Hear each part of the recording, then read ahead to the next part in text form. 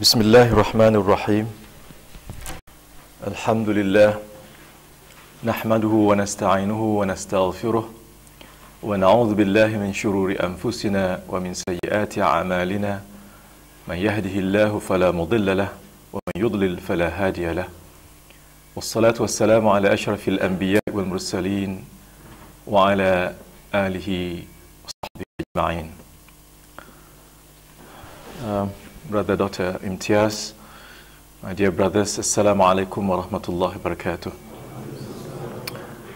Alhamdulillah, we thank Allah subhanahu wa ta'ala for by His grace and mercy we are able to be here to participate in this very important training program for the future leaders of the Muslim Ummah. You are the future leaders of the Muslim Ummah. And this training is a very important part of becoming the Muslim leaders in your area. Brothers, we are going to go into the new millennium. Um, it's around the corner. And we have to be able to understand what kind of scenario the world is going into in the next millennium, beginning with the year 2000, what kind of scenario do you expect?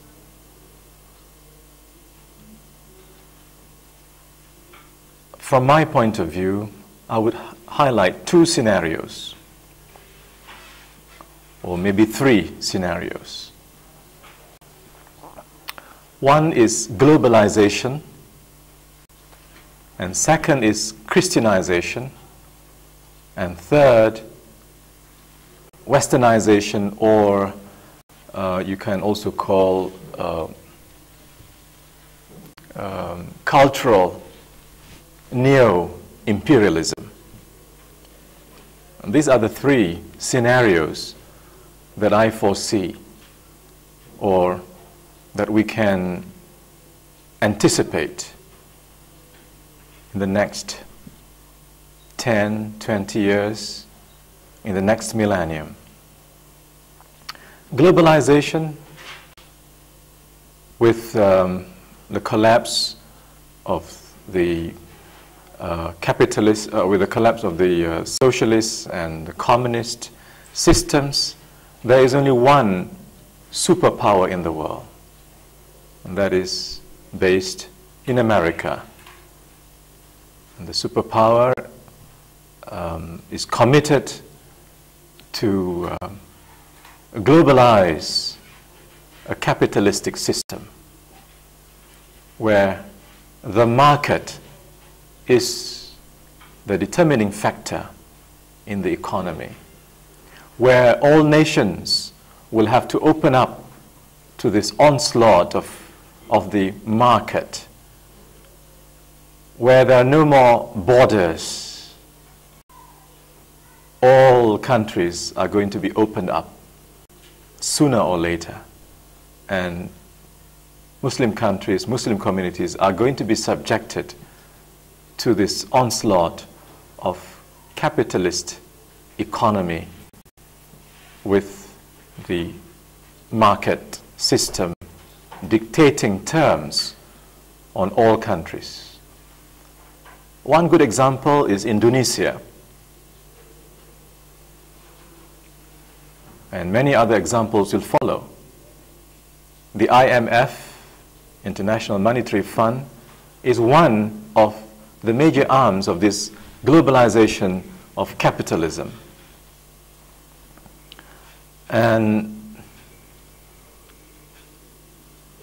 once the uh, uh, economic problems of so-called developing countries uh, reach a crisis level with uh, a turmoil and, um, uh, and the fall of the currency, either manipulated by the uh, currency speculators or the fund managers in, uh, in, in the capitalist centers, um, then IMF will come in to offer you loans and aids. Korea had to submit to it. Indonesia submitted to it. Thailand submitted to it, and many other countries. And once you submit to IMF, you become a slave to it. Then the capitalist um, forces um, and the market forces working hand in hand will then determine your future and will also determine your leadership and your system of government. So Indonesia is a good case study of how a potential Muslim nation with vast resources finally collapsed and had to worship at the altar of market idolatry, with the IMF becoming the chief priest, telling the people how to worship the new God, which is the market economy. There are many forces working behind this new scenario, not just capitalists. I would imagine also the international Zionist system is working hand in hand with this new force. And this is also indicated by the fact that when the new president of Indonesia, Abdurrahman Wahid was um, uh, elected a few days ago, he mentioned that he would like to establish economic relationship with Israel. And he had visited Israel before. He is on the Shimon Peres Foundation. Um, so uh, Israel or international Zionism has a big role to play in this new scenario. That is to say, using the market as a means of dominating nations and making Muslims bow to the demands of the new masters.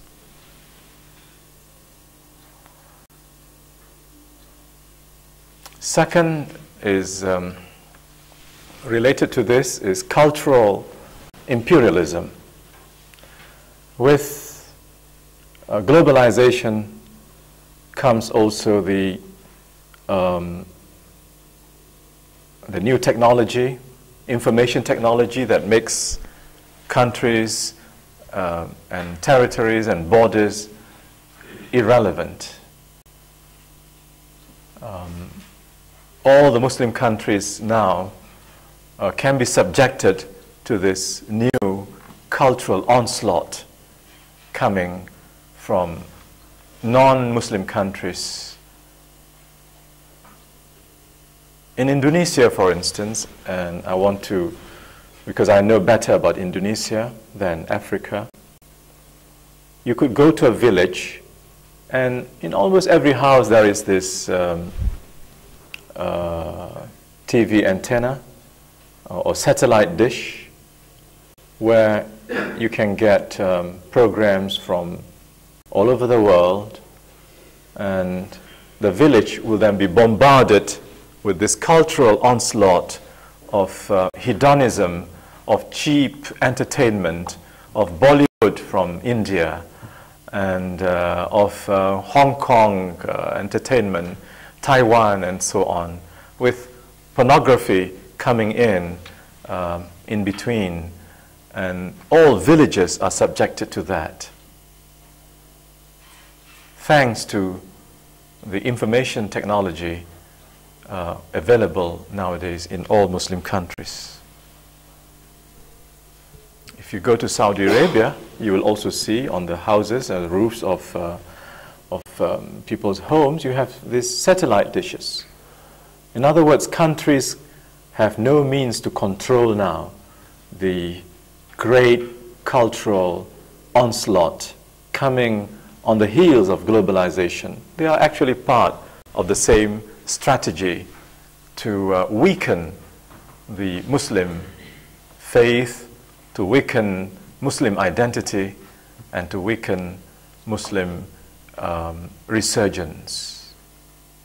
As you know, after the, um, uh, the bipolar world became monopol- monopolar, that is to say, America is the only power in the world that can dictate terms. Islam is the only force that is seen by NATO as the new threat. And to Russia, Islam is also the most um, serious threat.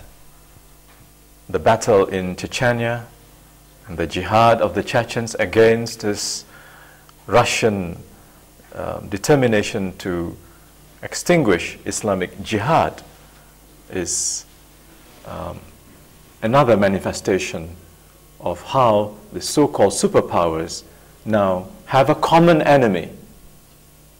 America and Russia, alhamdulillah, are now good friends. And the common enemy is Islamic resurgence. And so when uh, the Chechenians are being slaughtered, you don't see um, NATO coming in to help or United Nations coming in to help. They are there to be slaughtered. So, the, um, the superpowers and the international forces which are against Islam have come up with strategies to weaken the Islamic consciousness in the world. And one way is economic dominance through market tyranny and market um, dictatorship. And second is cultural um, subversion of the Muslims so that Muslims will be singing 24 hours a day, dancing to the tunes of other countries, be it Indian songs or um, Chinese, uh, whatever, Hollywood, Bollywood, you name it, we have it. And we are dancing to the tunes of these anti Islamic forces. The third scenario is Christianization. Many Christians believe that the end of the second millennium will see the resurgence of Christianity. And some fundamentalist Christians are eagerly waiting for the second coming of Christ, which to them signals the triumph of Christianity. Islam is again another stumbling block. Africa, as you know, my brothers from Africa know very well, has been the theater of proselytization of Christianity for the last 100 years. Islam is the main stumbling block, not paganism, but Islam. So Christianization with backed by the forces of the market and assisted by cultural um, subversion from the media will again reassert itself in new ways. And brothers from Africa, I think, know the um, story very well. How uh, Africans are being subverted uh, towards Christianity in a variety of ways. Southeast Asia, uh, brothers from the Philippines are aware that Philippines is um, perhaps the only uh, Christian country uh, in Southeast Asia, a major outpost of Catholicism in the Asia Pacific region, with Korea, South Korea, another center of Christianity. And with the coming of the next millennium, um, Christianity is going to be more assertive. This is my um, speculation, or my anticipation, or my prediction. Indonesia is a good example again in this respect. When in the last uh, 10 years of Suharto's regime, he's, for some reason or another, um, became more Islamic and aligned himself with Islamic forces in Indonesia. And for, for the first time, Islamic forces were assuming um, dominance in the Indonesian society. Whereas before that, Christian forces were the major determining forces behind uh, Indonesian economy, Indonesian politics, and so on. But uh, with the resurgence of Islam in the 70s and the 80s, Christianity um, had to take a back seat. Now they're coming back again in the front seat through Megawati, the vice president of Indonesia. Behind Megawati are Christian forces. And if Muslims were opposed to Megawati, they were not opposed because she was a woman. But this is what you hear from the media that the two reasons that uh, Muslims oppose Megawati number one, she's a woman, number two is Christian forces around her. It's not because she's a woman that they oppose, but because they see her as a tool of the Christians, Chinese as well as others behind her. And she also stood for uh, separation of state and church. So now, with the new situation, the president of Indonesia is someone who has very good relations with, um, with Christian um, community. He will be able to stabilize the country. If you talk of political stability, that would be his perhaps major contribution. But um, I suspect that Christian and uh, with the market forces would, be, would assert their presence much more, which will make the Indonesian state compromise one by one their stance. And that would again put the Muslims back on the periphery, not at the center, not in front, but taking a back seat. For Indonesia is a very strategic nation uh, in Asia. She is the largest Muslim country in the world. And if Islam were to uh, be the dominant force, um, that will not be good um, for um, Zionist um, interests in the world or for capitalist um, networks in the world. And so these forces have to make sure that Indonesia succumbed to globalization, to um, uh, cultural uh, imperialism, and also to the demands of Christianity. Brothers, this is my scenario building. I might be wrong, but there are indicators. Now, with these three scenarios, what would be your role? I mentioned in the beginning that you are the leaders of the future of the Muslim Ummah, particularly brothers from Africa, because Africa is the perennial um, stage for the struggle between Islam and the forces of globalization Christianization and cultural imperialism. How do you equip yourselves individually and far more important, collectively, to promote the Islamic agenda in the face of these three serious challenges?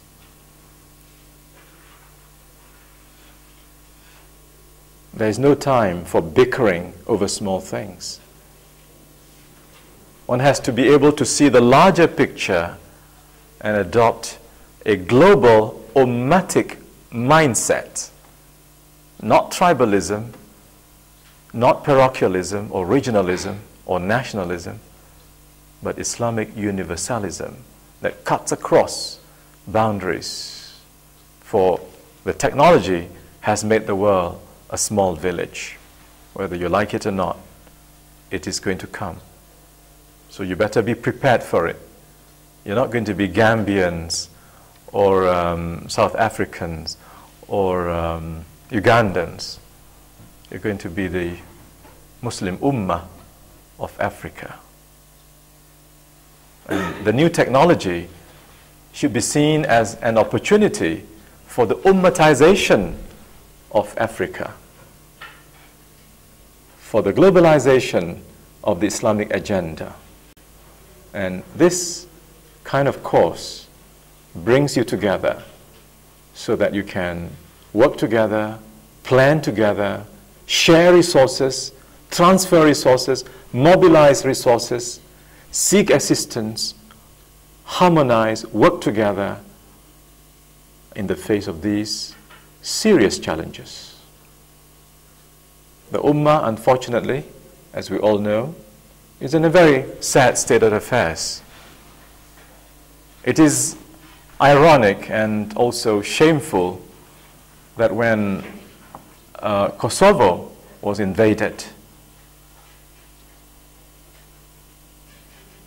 we were expecting NATO to deliver it, to save it. This is the reality of the situation. The Muslims had to depend on a non international Islamic, uh, non Islamic organization like NATO to come in and help. We have to learn how to be self reliant. We have to plan for the Ummah. And for that, we need knowledge, we need skills, we need technology. In addition to the strength of faith, the Iman, which is the foundation of the Islamic work for the individual and for the society. So, your task, brothers, are very huge. But this is what mu'mins are for.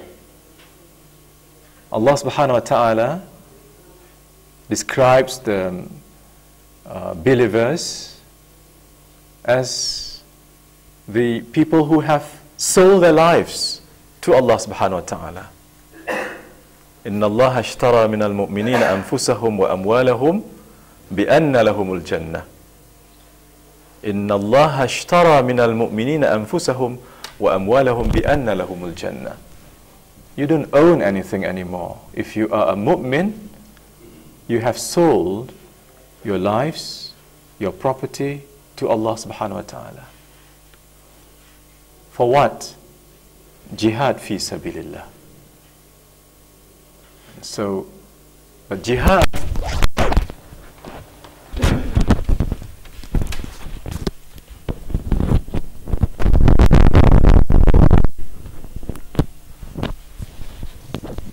But jihad takes many forms.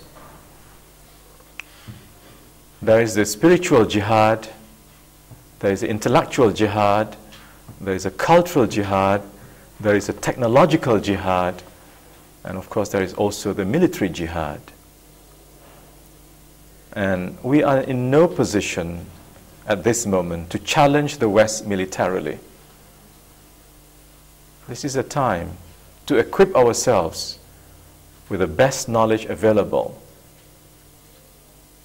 and to have the best technology to cooperate, to come up with, to, to develop the countries and the nations, the villages, the communities, so that they begin to appreciate the role of Islam in their lives. And here, it is not enough to um, proclaim the word, which is da'wah bil lisan. What the ummah needs is da'wah bil hal. That is lisanul hal afsahu min lisanil maqal. Which means that you've got to go back and see what to do with the poverty of the people, because this is where Christianity comes in through poverty. What are we going to do to this illiteracy? What are we going to do to the AIDS problems? How do we improve the health situation? How do we take care of the environment? So, while you have you are equipping yourself with uh, jihad or with da'wah bil lisan, you have to find ways and means to bring tangible social work projects down to the village level so that they don't just hear the beauty of Islam, they see the beauty of Islam before them. Because this is precisely the Christian method of proselytization. They do not bring the word, they bring money, they bring food, they bring medicine, they bring care, and so on. Later, they bring the gospel. For most of us, we bring the word first, and then we quarrel among ourselves about the interpretation of the words. Whether it should be this way, that way, blah, blah, blah. And in the meantime, people are suffering. Sudan, southern Sudan, is a good example of this. Why does it go Christian? Well, because of the abject poverty, and Muslims cannot help, but Christian forces are helping. So the challenge before us, um, brothers, are really daunting. But as I said, this is our destiny. This is the destiny of the believers. الذين آمنوا وهاجروا وجاهدوا في سبيل الله بأموالهم وأنفسهم أعظم درجة عند الله وأولئك هم الفائزون. يبشرهم ربهم برحمة منه ورضوان وجنات لهم فيها نعيم مقيم خالدين فيها أبدا. إن الله عنده أجر عظيم. Allah says that those who believe and strive in the path of Allah with their selves and their wealth are indeed of the highest status in the sight of Allah. And Allah gives them glad tidings of Al Jannah, and they will be there forever. Then Allah tells us that um, we have to love Him first, the Prophet, and then jihad fi sabilillah. If we are believers, then that should be the hierarchy of love. Allah subhanahu wa ta'ala, the Prophet sallallahu alaihi wasallam and what he stood for, and then jihad fi sabilillah. And you hear in this, uh, the next verses, قُلْ إِن كَانَ آبَاؤُكُمْ وأبناؤكم وإخوانكم وأزواجكم وعشيرتكم وأموال اقترفتموها وتجارة تخشون كسادها ومساكن ترضونها أحب إليكم من الله ورسوله وجهاد في سبيله فَتَرَبَّصُوا حَتَّى يَأْتِيَ اللَّهُ بِأَمْرِهِ وَاللَّهُ لَا يَهْدِي الْقَوْمَ الْفَاسِقِينَ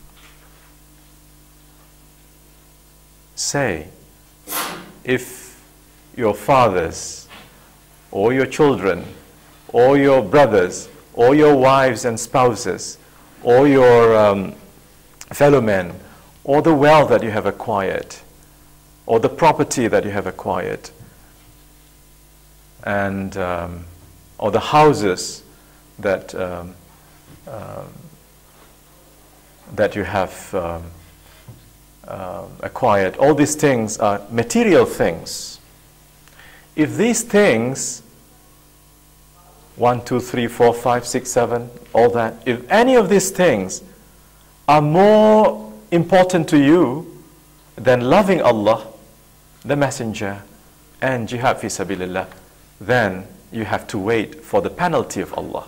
In other words, you have misunderstood the priorities in life.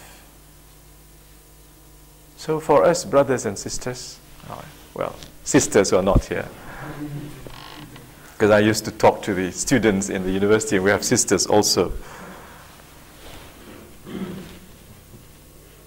And of course, the struggle has to be not just done by the brothers, the sisters have also to play their role. So if we bear in mind that the moment you realize you are mu'mins, you belong to Allah subhanahu wa ta'ala. You don't have anything more. But that you are getting the highest status in the sight of Allah. And what is there greater than Ridwanullah, the pleasure of Allah subhanahu wa ta'ala. So I look forward to your um, success in this program. And more important, when you go back to your countries, to Nepal, to South Africa, to Uganda, and other countries, to um, Mindanao, then you have to translate whatever you have acquired here into social realities, into economic realities, into educational realities, and technological realities, and not just become a da'i with great rhetorics but nothing else to give. So I'm sure you will, you will play your role uh, positively and that Allah will reward you and assist us in overcoming the three challenges of globalization or uh, market uh, tyranny and Christianization or Christian proselytization or westernization, and third, the cultural imperialism to dilute the Islamic identity of Muslim youth and Muslim families. أقول قولي هذا وأستغفر الله لي ولكم والسلام عليكم ورحمة الله وبركاته